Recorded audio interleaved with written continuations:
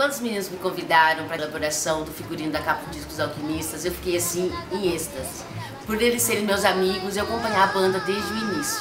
E a criação de um figurino para a capa de um disco é um desafio, porque você lida com sonhos e a mensagem que essa imagem tem que passar. E a minha função é de juntar todas essas formas, essas cores, texturas e fazer com que esse personagem crie vida. E a capa original ela trazia uma jaqueta e pensando no clima aqui do nosso estado, nós fizemos uma camisa, uma camisa com uma textura mais leve, mais fresca, sem tirar a originalidade da capa do franquito, trazendo também o figurino e um elemento muito importante dessa mensagem que se passa do personagem.